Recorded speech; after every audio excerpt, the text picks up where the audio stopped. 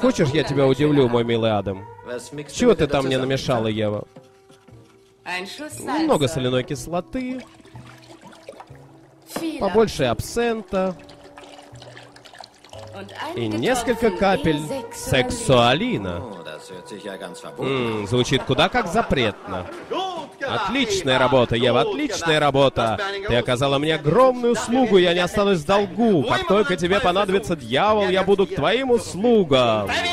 Смесь номер три.